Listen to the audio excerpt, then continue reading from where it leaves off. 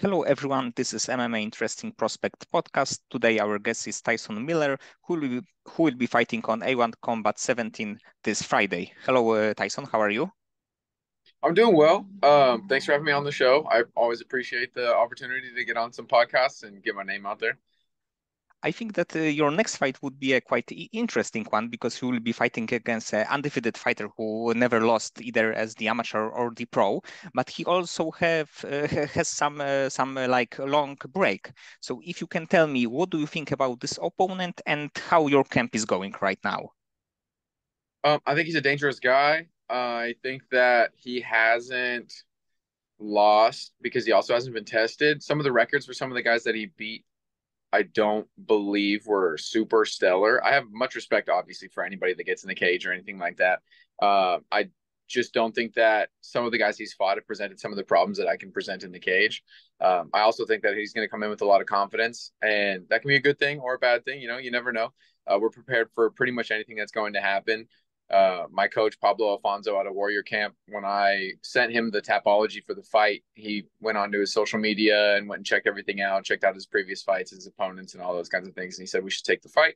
So I took the fight, you know, because that's what when your coach says to do something, you should listen. And he believes that as long as we go out there and compete to the fullest, it should be a good night and because he had uh, such a long break it's a little bit i think a question mark because uh, you don't know how he looked like like a few weeks ago or a few months ago. So it can be like also a tricky fight for you. Yeah absolutely. I'm trying i definitely have been trying to not think about that part too much. I think that ring rust will definitely play a part of it. I also know that he'll probably be be better than he has been previously getting in the cage. At least I would hope so, right? You take that long break and then you probably are training the whole time you're getting better. That means by training.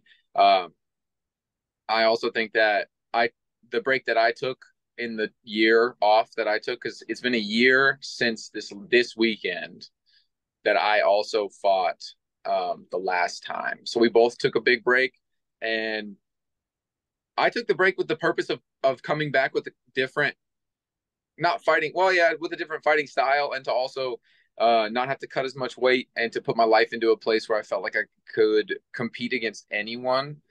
Um, should I have to? And then the other thing that I tell myself going into a fight like this is like, for where I want to go, everybody's going to be undefeated, or the first. You'll have to be the first person to do this, or the first person to stop that, or the first person to do whatever.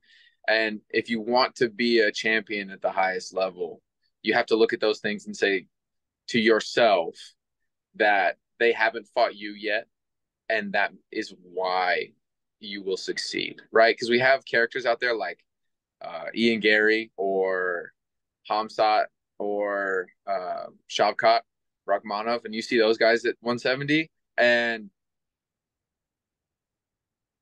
those guys are incredible, right? Those guys are all all three of those talents are elite. All three of those guys are very talented. Uh, we just saw Shavkat take out Geoff Neal in pretty spectacular fashion. We watched Ian Garry. I mean, he's going through some kind of adversity or whatever. I'm not going to speak to that, but because you know I don't know his life family situation, but he did get dropped in his last fight, I believe, and then came back and won by finish. And then we've seen Khamzat continue to shine with his crazy ultra aggressive style in the fight that he just had with Usman. Uh, so what I say to myself is if I want to get to the top of the mountain, those three individuals are three people that I would have to fight anyway. So it would be better to start taking challenges now on the way there than to do what some of these guys do and cherry pick opponents that you know you can beat until you get there, right? Like my last fight didn't go the, my way.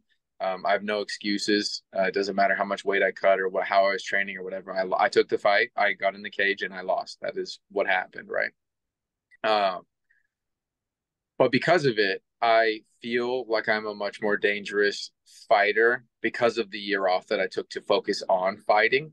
Sounds counterintuitive because I took a year off and didn't fight at all for a year, but the whole time I was trying to put my life into a place where I felt like I could fight to the fullest of my ability, meaning that like I took up endurance running as a hobby. I ran I say almost two marathons because we did one 21 mile run and an actual full marathon uh, with a lot of buildup in between the two. Uh, most of it was in sand up and down the dunes near my house.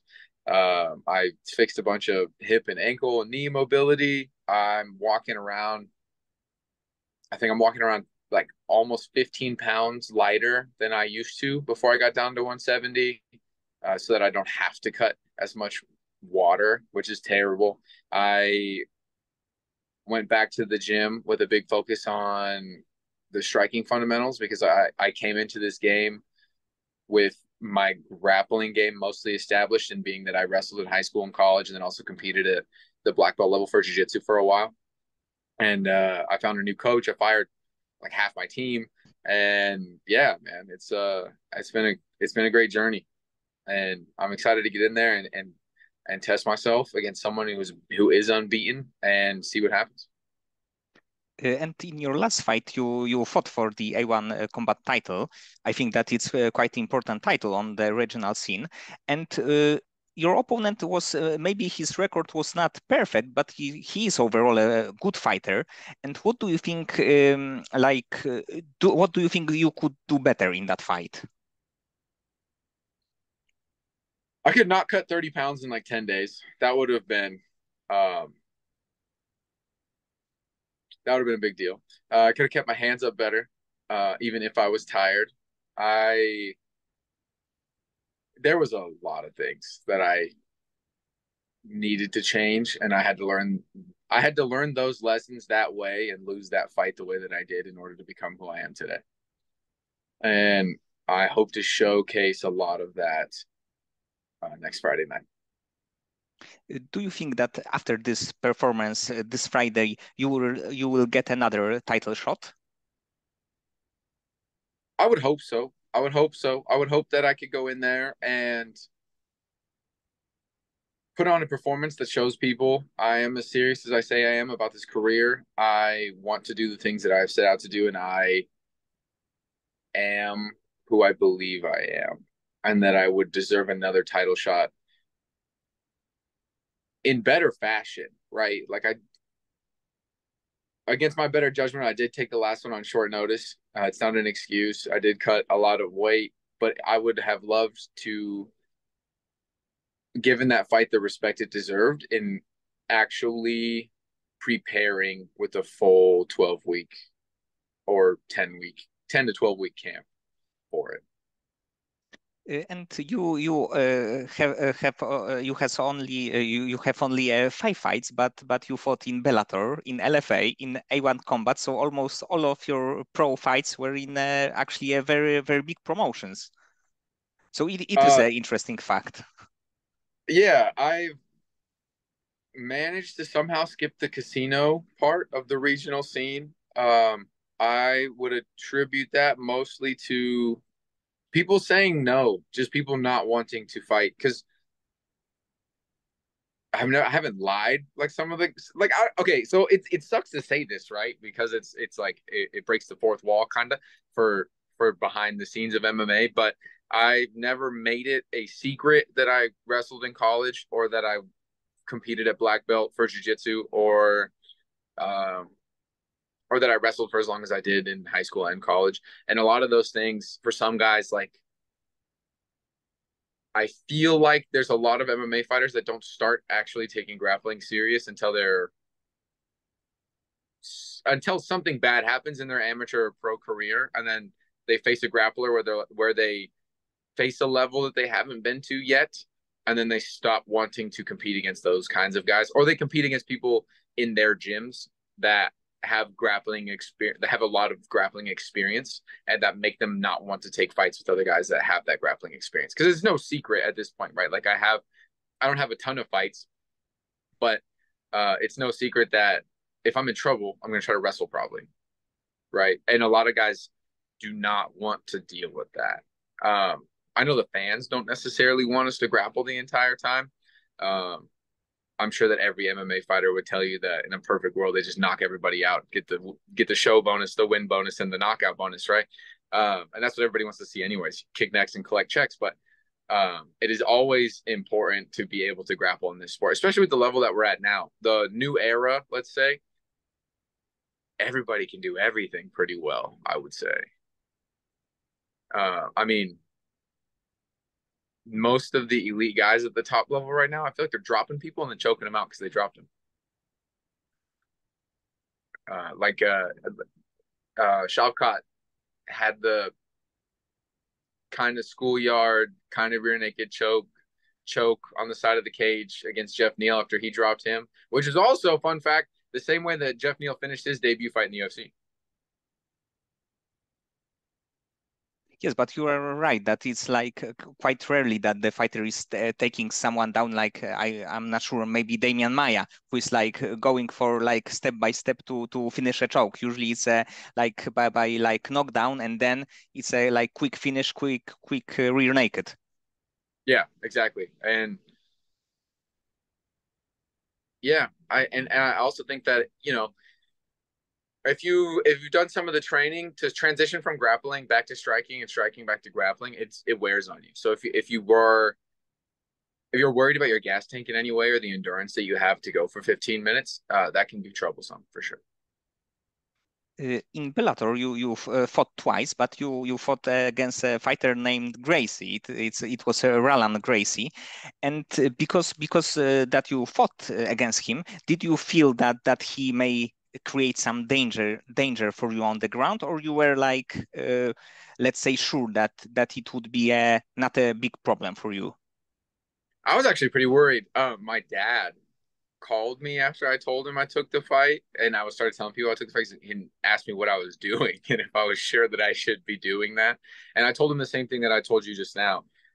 I told him that in order to get to where i want to go these are the people that i have to fight. And he at the time he wasn't incredibly dangerous. He's like 0 for 2 or 0 for 3 or something like that. And I knew that the striking wasn't going to be super dangerous. However, I had seen him on online compete at a high level in jiu-jitsu. Is I mean, he owns a school. He's a Gracie. He also has a very established school in San Francisco, I believe.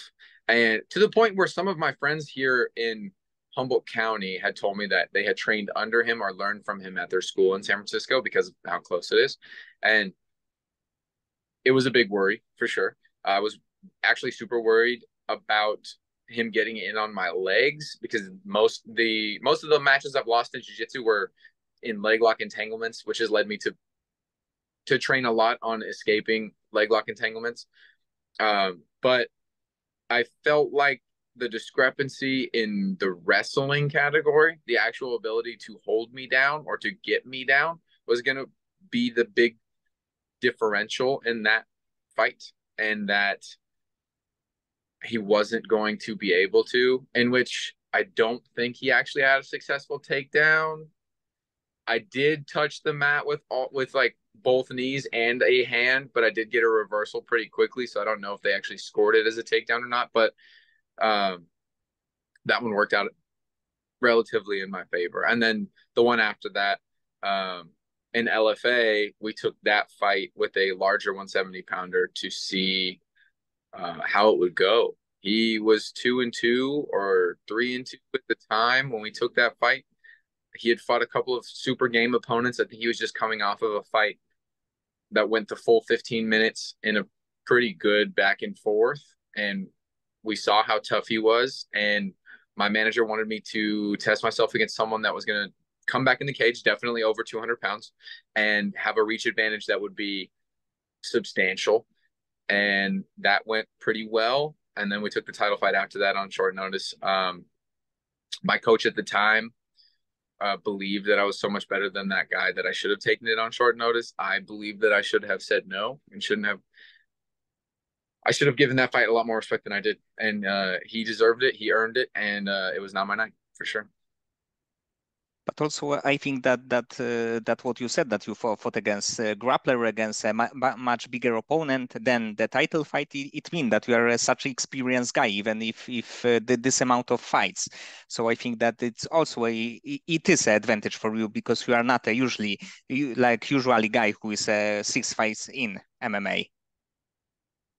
That's very true. I definitely feel that way too, man. I mean there were some guys that I was afraid to say yes to that I said yes to before this fight that turned me down um, in the lead up to like finding an opponent because you know you, have, you you can't force people to fight you you can't bully people into it like both uh, parties have to agree uh, but a couple of the guys, I was like, man, I don't know how it's gonna go. I'm gonna have to train my ass off for this. And then they said no on the other side, and I was like, oh, okay, you know what? Actually, that wasn't that. I'm okay. I'm okay with that.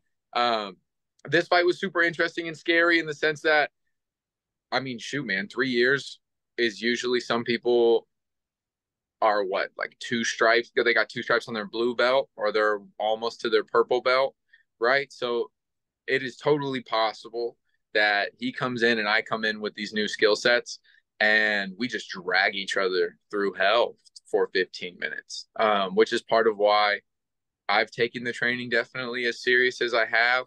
Um, I don't know how much I want to speak to exactly what I've been doing because if he watches it or something like that, then like he'll know exactly what we're prepared for.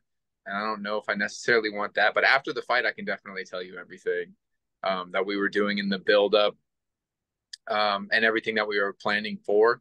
Uh, but the my favorite part of preparing for this fight has also been the absence he's had from the cage because it's given me an opportunity to really ask myself all different kinds of questions. How do we want to strike?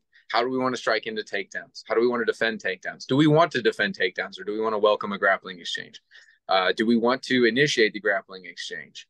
Like I've gotten to take the year off that I did to actually ask myself more questions of how do I want to operate as a fighter and how I want how do I want to be seen? What do I want to do rather than okay, this is the next opponent. This is what he's good at. We have to neutralize these threats in order to do these things to win, right? So I've gotten to just focus on getting better all around, which makes it has made me pretty happy. I'm I'm win, lose, or draw, I'm very proud of the training that we've done to get to this point and of everything that we've had to overcome just to get into the cage this time.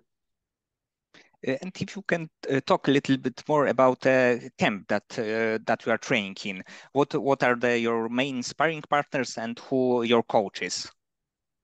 Okay, so I had a head coach retire um, over the last year. Um, so the coach that I had learned under and had given has given me my brown belt in jiu-jitsu his name was john thompson he's gotten me to this point which i would say we've had a pretty good amount of success. You know we're at four and one. We're we've only fought on major promotions. I've never got to fight in my own backyard. I've had to travel. I've had to deal with going to other people's homes forever. Um, the mentality that we developed through that was what's more warrior like than going to someone else's village and taking their things, right? Um, it's yeah, I, that's that's how we try to think of it. As brutal as that sounds, um, the head coach that I have now is Pablo Alfonso. He has, uh, well, his star pupil that's in the UFC is Terrence McKinney, T Rex at 155. Um, I called my manager when I was told that my head coach was going to retire and that he was stepping out. And my manager said that he believed going up to Spokane and, and going to Warrior Camp in Spokane would be a gym that I would connect with a coach that would really like take my game to the next level. Um, I live in a pretty rural area. I literally live in a cabin in the woods in in Northern California. So my girlfriend and I decided that I would go up there for like a week at a time, a couple times to go train and and learn new skills and and sharpen the skills that I do have. The questions and the training partners that I had, I got to go experience up there in a place that has produced guys who have gotten to where I want to be. I literally asked Coach Pablo if he could like I told him that I wanted to be in the UFC. I told him I wanted to do my best to become a champion. I told him I wanted to fight the best and be an elite, an elite fighter. And I said that you've taken people there. Can you take me too? And he said, absolutely. I think I can. Just keep training and we'll figure this out. Uh, each time I went up there, I learned things from him that I felt like I needed to go home and train with. Um, I have a pretty good amount of training partners at home that are willing to work with me. Um, like all of their names. Uh, might be too hard for me to list off, but the main training partners I have, I've had for a long time.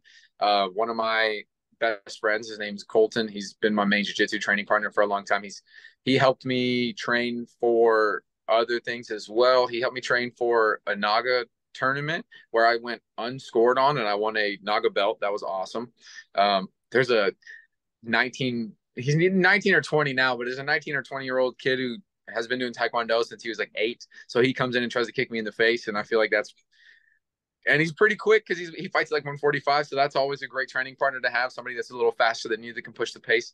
Um, I have a uh, I have one other training part, two other training partners that are about my size. One is uh, one and zero oh as a pro fighter, and I think he was three or four and zero oh as an amateur fighter with a little wrestling background in high school.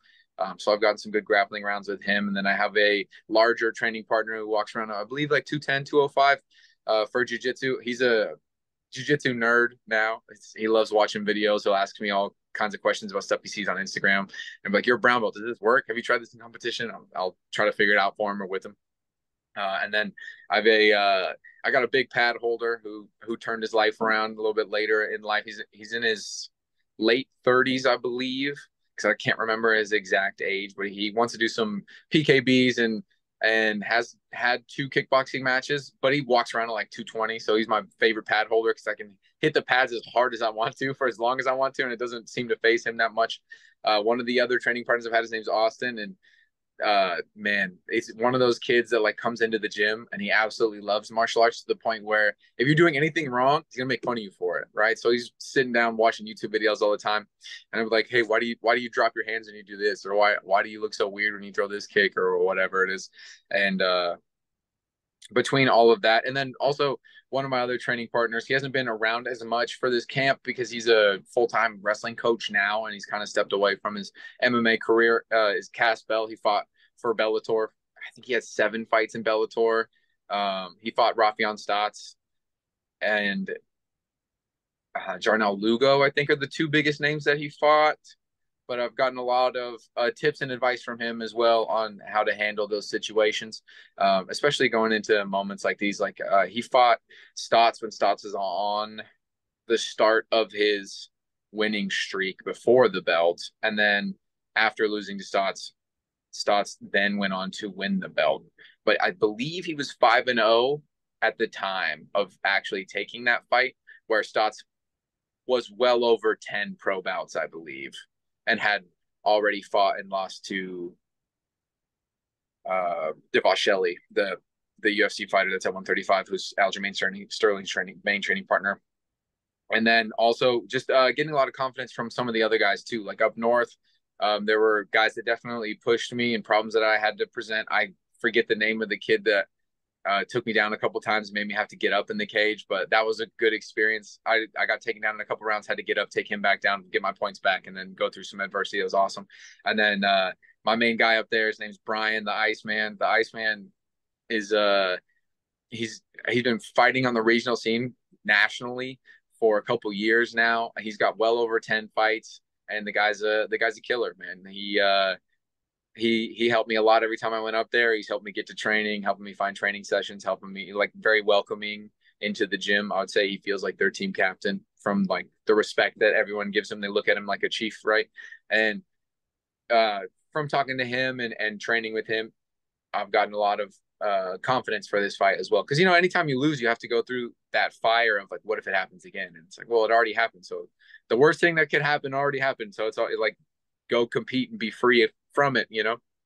And uh, the fact that he has as many fights as he has and has all the experience that he has, uh, being a training partner makes me feel good when when one of the tex- techniques is is successful or or not successful, right? Like if I do something wrong and get punched in the face, or if I successfully finish a takedown, it's like okay, this is someone that actually is a good fighter that I'm doing this training with that I now know this technique works or needs work, you know. So yeah, a lot a lot has gone into it. I even I, I got a running coach for this one. I get up and go running with uh, my buddy Mike. Shout out to Mike. Um, he's the one that pushed me through a marathon and the 21 mile run. Uh, yeah, man. We uh no stone left unturned for this one. It's a little bit like Rocky four or five fights Drago. Yeah, so it it might be a best performance of your career because of the training camp that you that you had. Yeah, we did a lot of soul searching. I personally believe that I'm in a place where I will be able to compete better than I ever have. Um, that being said, he probably is too, you know? So it, it could be two personal bests and you guys get to see a war. Um, could be one sided either way. Who knows? I've been trying to really focus on just going out there and letting it go. Just just just flow, right? Like just like Bruce Lee says, just just empty your mind and flow. That's it. Because there's nothing left to do now but make weight and do the damn thing. And uh yeah, he's unbeaten. It's been three years for him. It's been a year for me. Um, and we'll see what happens. Uh, and in the perfect world, uh, how many fights would you like to have this year? Because uh, because you had uh, only one uh, last year, so so how many would you like? I would like to fight three or four times this year. Um, my manager and I were talking about it actually like a week ago. Um, we're gonna aim for three for sure, but if any of them go super well and we can have a quick turnaround, then we'll try to squeeze in a fourth one. Uh, the only way to climb the ranks is to climb the ranks. So, got to be active. Uh, do you think that the uh, contender series this year is is a possibility for you? I'm hoping and praying that by the end of the year it will be a possibility. I know for a fact that they do want guys that have more experience. Um, they I know that they want guys to have at least eight fights now. Uh, from everyone that I've talked to behind the scenes, they want people to have at least eight or nine fights worth of experience, whereas their ninth or tenth fight is their UFC debut or their contender series debut. Um, for two reasons. One, when you get to the UFC, you made it. Now you have to, you know, this is your job. How far can you take it? You might only have this chance. Obviously, we have those stories of guys that that get in. It's a little too early in their career. They get out, they go fight a couple more times, and then they go back substantially harder than getting there, sustaining a career there for a long time, and then going through and and staying in the UFC. But if you meet that contender series window and you fail, it doesn't matter that you lost. You have the contender series banner on your Sherdog and on your Tapology, and many guys are going to treat you like you are you were in the UFC. Because to get that Tapology, or sorry, to get that contender series shot, they have to have believed a little bit that you were ready to compete in the UFC. So it's it's it can be hard for some guys to find fights after that or to even find fights that are even kind of favorable for them, right? They start getting calls from Russian champions who are 21 and 0 for Eagle FC or whatever. Um, that was just the first name I thought of. I, I don't think they do that, but yeah. Uh, but still, if you will win this fight, maybe next fight will be a title fight, then title defense, and then you will be a seven and one, so it will be eight fights. So so maybe like September of October, it will be a, your like big opportunity to get there. That would be that would be that would be a dream come true. I would love for that to be. Um, that is that is what I'm hoping for. That is what I'm working for, training for, and praying for. Um, it seems like forever ago. I was like a 13 year old kid watching GSP videos on YouTube and running sprints out behind my house. Um, it's all I've ever really wanted to do. Um, and it is absolutely insane to me. For one, that that is a possibility. My year could go that way. Because um, when you start this thing, you don't like think about what it's going to be like on when you're getting there. Um, and then two, yeah, as long as all goes well, and we keep up the same thing that same things that we have been doing. Uh, I truly believe that I'm in the best shape physically, mentally, and spiritually that I've ever been in. And if I, there was going to be a year for me to do that, it would be now. This would be the first time I think as a person and as a martial artist, I feel like I could actually complete that feat. And do you have a fighter in mind, uh, the fighter from the UFC that you would like to face? It's a more a dream fight scenario, so maybe it will not happen. But but let's say in your head, do you have the the kind of fighter that you would like to to fight? Oh man, um, I would. I have always wanted to to to fight my idol in GSP. That'll never happen, but I would have loved to test myself against someone that everyone looked at as Superman, basically. Um, I mean, with the Superman jab, he pretty much made himself that, but uh, that would be a dream fight. And then I, I pretty regularly tell people that I think that out of the three names that I mentioned earlier, I don't know if we see Khamzat back at 170 very much. It seems like he cuts a phenomenal amount of water to get to 170. Uh, I thought he looked a lot healthier at 185 with against Usman. Um, Usman, another guy that cuts an insane amount of water. Um, I'm hoping and praying that the sport moves more towards maybe another weight class or two, and then also influencing guys to not cut more than like five to eight pounds of water like one FC, right? One FC is doing the the hydration thing. I know that some fighters talk about how they can still cheat it, but still, it's uh, if they made a 65 pound weight class and then move 70 to 75, 85, and then 95, I feel like it would end a lot of the really bad things that are happening, right? Like some guys die, um, kidney failure. Uh, I mentioned I cut a lot for them my last fight. I swear it took me like two weeks just to get food to like digest in my stomach after that cut. It was bad. Um, yeah, I'm I'm hoping that that that changes. So I don't think we'll see Khamzat back at 170, and I think that uh, Ian Garry will definitely have a chance or be a contender and be around. It seems like his his outside life, however, might hinder his inside the cage life. But that leaves the one monster in uh, Shavkat Rakhmonov, and I really believe that if I'm going to win a title out of those like three who have kind of risen to the top of the of the crowd, uh, that guy will probably have it, and it'll probably be that guy that whoever gets there has to take the belt from.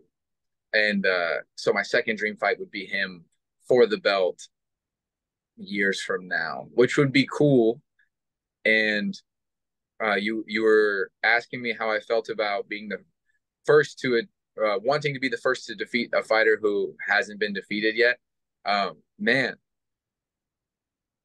being first is high on my list of many things for a bunch of reasons, but the number one reason that I love the sound of that is because of just who I am as a person.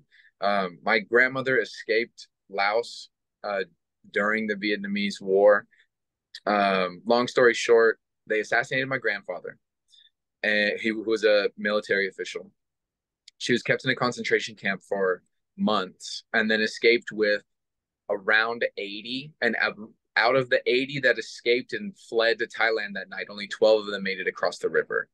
And I feel like in the USA, we're seeing a lot of firsts out of the Lao community. And I think I saw three or four uh, Division One football players, which means we'll probably see one or two of them in the NFL, which will be the first ever's there. Um, Andre Soukhamthath was the first ever UFC fighter. I would like to be the first ever Asian, also La- like Laotian uh, UFC champion because we haven't had a an Asian UFC male champion. We've just had uh, Zhang Weili for uh, the girls.